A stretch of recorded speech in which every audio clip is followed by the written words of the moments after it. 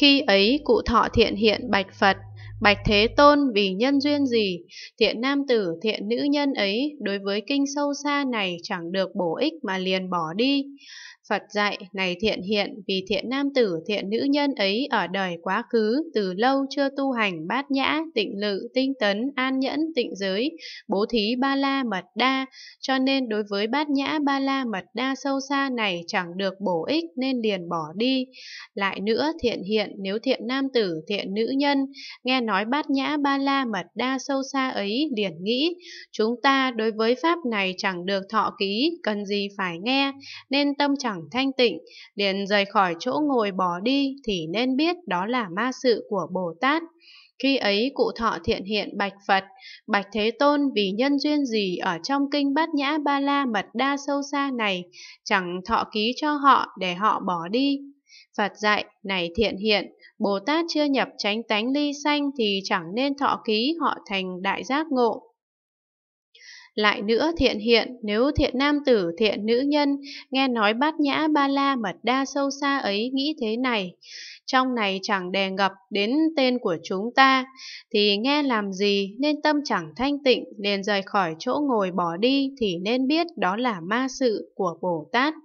Khi ấy cụ thọ thiện hiện lại bạch Phật, bạch Thế Tôn vì nhân duyên gì ở trong kinh bát nhã ba la mật đa sâu xa này, chẳng nói đến tên của Bồ Tát ấy, Phật dạy, này thiện hiện, Bồ Tát chưa được thọ ký quả vị Đại Bồ Đề, thì đương nhiên chẳng nên nói đến tên của họ.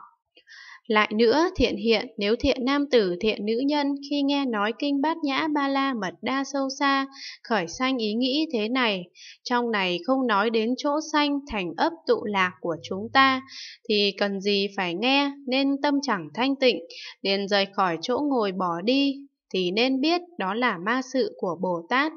Khi ấy cụ thọ thiện hiện bạch Phật, bạch Thế Tôn vì nhân duyên gì trong kinh bát nhã ba la mật đa sâu xa này, chẳng nói đến chỗ sanh thành ấp tụ lạc của Bồ Tát ấy. Phật dạy này thiện hiện nếu Bồ Tát chưa được ghi thì chẳng nên nói đến chỗ sanh sai biệt của họ.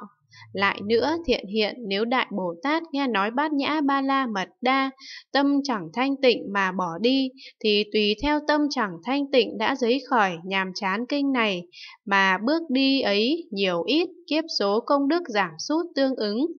và gặt hái tội chướng ngại bồ đề kiếp số cũng tương ưng chịu tội ấy rồi, lại cũng với thời gian tương ứng, phát khởi chuyên cần tinh tấn cầu đạt đến quả vị giác ngộ cao tột mới có thể trở lại như xưa. Vì vậy, Bồ Tát nếu muốn mau chứng đắc quả vị giác ngộ cao tột thì chẳng nên nhàm chán bát nhã ba la mật đa sâu xa. Lại nữa, thiện hiện,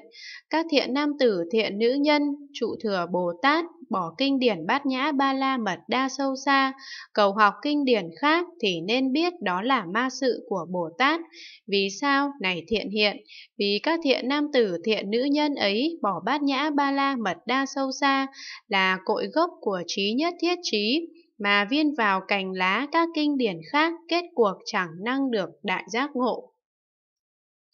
Khi ấy cụ thọ thiện hiện bạch Phật, bạch Thế Tôn, những kinh điển nào giống như cành lá chẳng thể dẫn phát trí nhất thiết trí. Phật dạy, này thiện hiện có các kinh nói pháp tương ưng nhị thừa là bốn niệm trụ, bốn chánh đoạn, bốn thần túc, năm căn, năm lực, bảy chi đẳng giác, tám chi thánh đạo và pháp môn giải thoát không, vô tướng vô nguyện. Nếu thiện nam tử, thiện nữ nhân tu học pháp đó đắc quả dự lưu, đắc quả nhất lai, đắc quả bất hoàn, đắc quả A-la hán đắc quả độc giác, chẳng đắc quả vị giác ngộ cao tột, đó được gọi là các kinh khác giống như cành lá, chẳng thể dẫn phát trí nhất thiết trí. Bát nhã ba la mật đa sâu xa giống như cội gốc, có thế lực lớn, nhất định có khả năng dẫn phát trí nhất thiết trí. Thiện nam tử, thiện nữ nhân ấy, bỏ kinh điển bát nhã ba la mật đa sâu xa, cầu học kinh điển khác, nhất định chẳng thể đạt được trí nhất thiết trí. Vì sao này thiện hiện kinh bát nhã ba la mật đa sâu xa ấy xuất sanh pháp công đức thế gian và xuất thế gian của tất cả đại Bồ Tát. Này thiện hiện, nếu Đại Bồ Tát tu học bát nhã ba la mật đa, tức là tu học tất cả pháp thế gian và xuất thế gian,